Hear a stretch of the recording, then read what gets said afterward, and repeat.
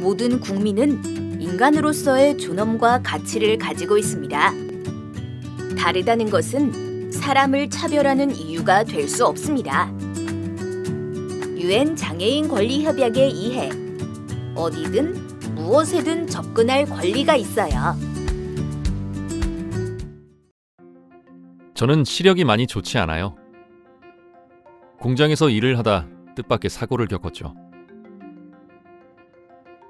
음식에서 메뉴판을 볼 때나 사람들 앞에서 발표를 할 때 확대경이 필요해요. 그런데 가끔 도서관이나 공공시설에서 자료를 찾아볼 때 난감한 경우가 있어요. 시각장애인을 위한 자료가 모두 점자로 되어 있는 곳이 있거든요. 전 점자보다는 확대경을 이용해 글씨를 읽는 게 훨씬 편해요. 다행히 요즘에는 큰 글씨 책과 확대경이 비치된 시설이 늘고 있는 것 같아요. 이런 걸 보면 누구에게나 공개된 정보와 시설을 이용할 수 있는 권리가 실현되고 있다는 생각에 흐뭇해집니다. 이번 시간에는 유엔 장애인 권리 협약 중 제9조 접근성, 제20조 개인의 이동, 제21조 의견 표현 및 정보 접근의 자유에 대해 알아보겠습니다.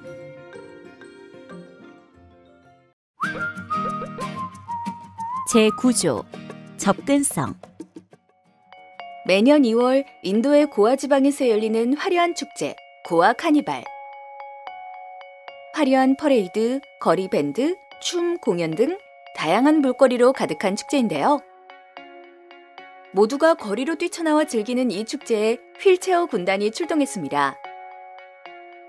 그동안 휠체어를 타고 축제에 참여하기 힘들었던 사람들은 환상적인 축제 광경에 눈을 뗄 수 없었습니다.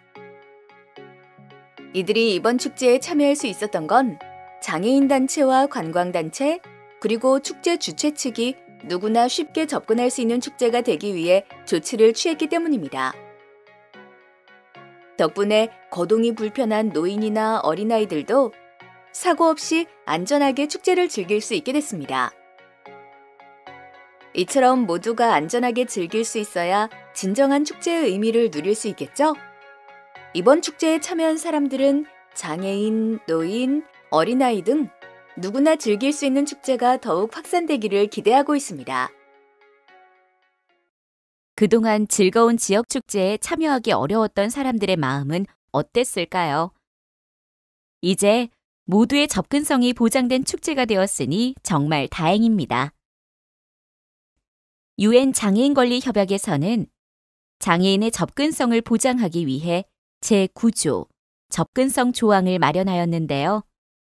내용을 자세히 살펴볼까요? 당사국은 장애인이 모든 영역에 완전히 참여할 수 있도록 필요한 물리적 환경, 대중교통, 정보통신, 기타 시설이나 서비스에 접근할 수 있도록 보장해야 하고, 구체적으로 학교, 주거, 의료시설, 근무지를 포함한 건물, 도로, 대중교통 등과 정보 및 통신 등의 서비스에 있어서 장애인의 접근성을 보장해야 해요. 장애인은 필요한 기술이나 수단, 서비스 등에 대한 접근이 어려울 수 있죠. 생활 속에서 자유롭고 불편 없이 다양한 서비스와 시설에 접근할 수 있는 것은 인간다운 생활을 누리는데 매우 중요해요. 따라서 제9조 접근성 조항에는 장애인이 다른 사람들과 동등하게 접근성을 보장받을 수 있도록 적절한 조치를 취해야 한다는 내용이 포함되어 있죠. 적절한 조치요?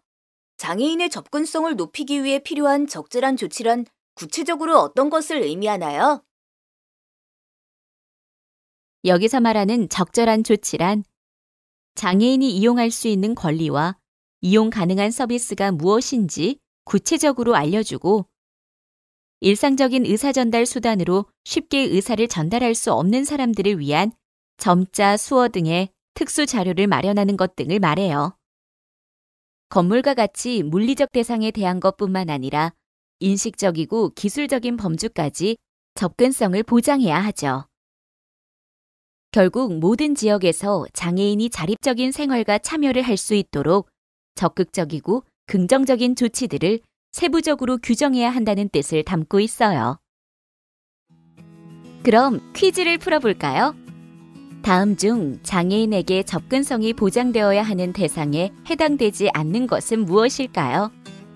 1번 학교, 주거, 의료시설과 근무지를 포함한 건물, 도로, 대중교통 및 기타 실내외 시설 2번 국가 특수기밀 및 국가 운영에 필요한 정보가 담겨 있는 하드웨어 및 소프트웨어 3번 전자 서비스와 응급 서비스를 포함한 정보, 통신 및 기타 서비스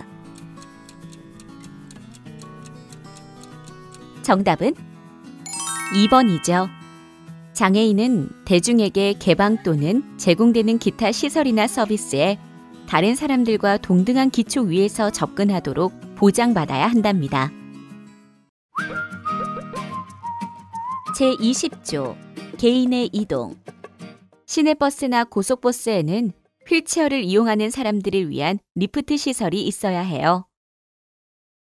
이처럼 2006년 교통약자 이동편의 증진법이 시행된 이후 교통시설의 장애인 편의시설이 확충되면서 장애인들의 이동성 보장 범위가 확대되고 있는데요.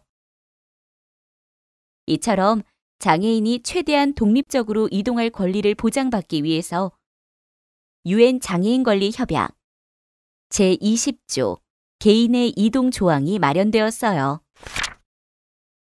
그 내용을 자세히 살펴보면 장애인의 이동을 보장하기 위해 장애인이 선택한 방식과 시기에 그리고 적정한 비용으로 장애인의 이동을 도울 수 있는 이동 보조기구, 보조기기, 보조 기술, 그리고 현장 지원과 매개체 등을 이용 가능하도록 지원해야 해요. 이때 장애인 및 전문 담당자들은 이동 기술에 대한 훈련을 받아야 해요. 그리고 이동 보조기구나 보호 장구 및 보조 기술을 생산하는 주체도 되도록 장애인의 이동성을 고려해 제품을 만들도록 해야 한답니다. 장애인의 이동을 위해 현장 지원과 매개체 이용 지원이 필요하다는 점 잘 알겠습니다. 그런데 이 조항에서 말하는 현장 지원 또는 매개체에 AI 로봇도 포함될까요? 좋은 질문이에요. 먼저 현장 지원이란 장애인의 곁에서 바로 보조 지원 서비스를 제공하는 활동 지원사, 낭독인, 안내견을 뜻해요.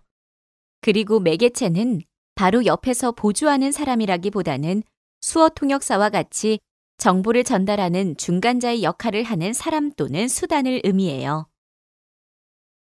그리고 장애인의 삶의 질 향상을 위해 사용되는 하드웨어나 소프트웨어를 보조기술이라고 하죠. AI 로봇은 장애인의 이동이나 생활에 도움이 되는 기술이기 때문에 보조기술이라고 볼 수 있어요. 단, 로봇을 비롯해 장애인을 현장 지원하는 전문 담당자, 각종 동물들은 철저한 교육과 훈련을 받아야 하겠죠. 이동권은 일상을 누리고 직업을 선택하며 자립적인 삶을 사는데 매우 중요한 요소이므로 이를 보장하기 위한 양질의 조치가 이루어져야 하니까요. 퀴즈를 풀어볼까요? 다음은 현장 지원, 매개체, 이동 보조기구, 보조기술 중 무엇에 해당할까요? 먼저 1번 안내견 정답은 안내견은 현장 지원에 해당해요. 다음 2번 휠체어는 무엇에 해당할까요? 정답은 휠체어는 이동 보조기구에 해당하죠. 다음 3번. 수어 통역사는 무엇에 해당하지요?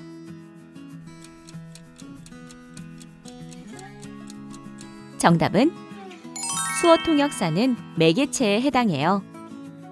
마지막 4번. 보조공학에 의한 특수한 장치는 정답은 맞아요. 보조 기술에 해당해요.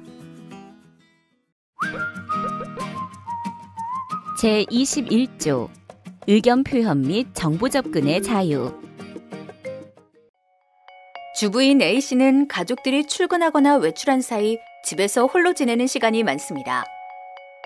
청각장애가 있어 책을 읽거나 집안일에 집중할 때면 집에 누가 왔는지 주변에 무슨 일이 일어나고 있는지 모를 때가 종종 있습니다. 전화가 왔다는 걸 눈치 못 챌 때도 있죠. 딸의 메시지를 받고 급하게 TV를 켜보니 A씨가 살고 있는 지역의 산불이나 동네 전체가 활활 타오르고 있었습니다. A씨는 놀란 마음에 안절부절 못하며 어쩔 줄을 몰랐습니다. 하지만 A씨는 곧 마음을 가라앉힐 수 있었습니다. 수어 방송을 통해 자세한 재난 상황과 대피 방법 등 정보를 제대로 얻을 수 있었기 때문입니다. 위급한 순간에 정보를 제대로 얻지 못하면 막막할 수밖에 없겠죠? 누구나 정보에 접근할 수 있도록 다양한 언어를 제공하는 재난방송 덕분에 A씨는 침착하게 대응할 수 있었습니다. A씨의 사례처럼 우리나라는 재난방송은 물론 뉴스의 수어 화면을 제공하고 있고 긴급 재난 문자도 수어 동영상으로 제공하고 있어 정보에 대한 접근성이 잘 보장되고 있는데요. 2020년 코로나 확산 상황에서도 정부의 대응, 브리핑 등을 수어로 제공해 지역 내 발생 현황과 거리두기 단계별 지침 사항, 검진센터와 치료시설 등의 정보를 누구나 잘 알 수 있었어요. 특히 2016년에 제정된 한국수화언어법은 한국 수화 언어가 국어와 동등한 자격을 가진 공용어임을 분명히 하고 법적으로 의무화하는 기반이 되었죠. 유엔 장애인 권리 협약에서도 정보의 접근성을 보장하기 위해 제21조 의견 표현의 자유 및 정보에 대한 접근 조항을 마련했어요. 그 내용을 보면 당사국은 장애인이 자신이 선택한 모든 의사소통의 방법을 사용하여 자신의 의견 및 표현의 자유에 대한 권리를 행사할 수 있도록 적절한 조치를 마련해야 해요. 공식적인 교류에 있어서 수어, 점자 등 장애인이 접근 가능한 수단을 사용해야 하고 인터넷이나 대중매체도 장애인이 접근 가능하도록 만들어야 해요. 모든 사람은 자신이 선택한 의사소통 방법을 통해 정보와 사상을 추구할 권리가 있어요. 장애인의 이러한 권리를 보장하기 위해서는 점자나 수어 등 장애 유형에 적합한 기술과 서비스의 제공이 필요하겠죠. 그리고 무엇보다 의사소통 수단의 다양성, 즉, 점자나 수어도 의사소통 수단이라는 것을 인정하는 것이 필요하겠죠. 서로 수단은 다를 수 있지만 하나의 이야기를 서로 나누고 그 뜻을 공유하는 건 가능하니까요. 퀴즈를 하나 풀어볼까요? 네모는 청각장애인들의 정보, 의사소통, 서비스, 참여, 교육 등에서의 접근성을 위한 언어 수단이다. 여기서 네모에 들어갈 알맞은 말은 무엇일까요? 문제가 조금 쉬웠나요? 정답은 수어지요. 장애인이 어디든 무엇에든 접근할 권리, 그 권리들을 다시 정리해 보겠습니다. 제9조 접근성 장애인은 삶에 있어 필요한 시설, 수단, 기술, 서비스 등에 접근할 권리가 있습니다. 제20조 개인의 이동 장애인은 자유롭게 이동할 수 있는 권리가 있습니다. 제21조 의견 표현 및 정보 접근의 자유 장애인은 자신이 선택한 의사소통 방법을 통해 정보를 추구하고 의견 전달 및 표현할 권리가 있습니다.